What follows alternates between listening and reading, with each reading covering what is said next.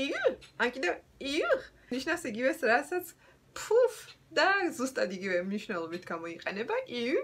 გამოიყენება მაშინ, როდესაც რაიმე არის ან სასიზღარის შესახედავი, ან ყარს, ან მოკლედ disgusting, რაღაც ცუდი რომ არის. იგივე? This apple smells. Poof, es washli qars. I? Ha? Uh, ha? გამოიყენება მაშინ, როდესაც ვიღაც რაღაცას გეუბნებათ და თქვენ ნამდვილად არ გაინტერესებთ ეს რაღაცა, ეს ამბავი არ ახართ დაინტერესებული. They got married, it according? Ha? მართლა? Really? ანუ რომ არ გადარდებთ დაქორწინდნენ თუ არა და თითქოს თან გაგიკვირდა თეობნებით. Ha? Really? და რაც არის იგივე არა, no. და გამოიყენება უფრო მეგობრებთან არაფორმალურ სიტუაციაში, მაგალითად Do you want another vodka? გინდა კიდევ ვოდკა? Na, I'm good. არა. Na, იგივე არა.